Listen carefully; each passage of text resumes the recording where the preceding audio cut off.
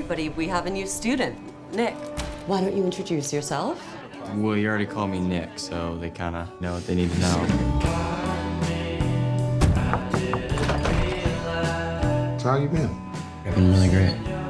I mean, not great, you know. Oh,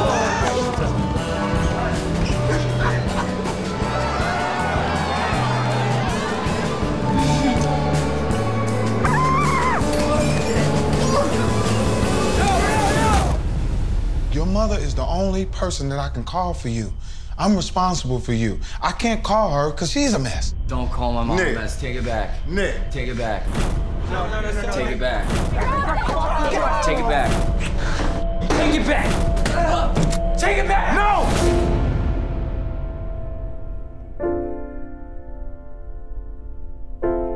I like you so much. I have since I met you.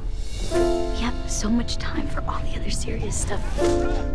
For now, I just. I need to be. I just want to be.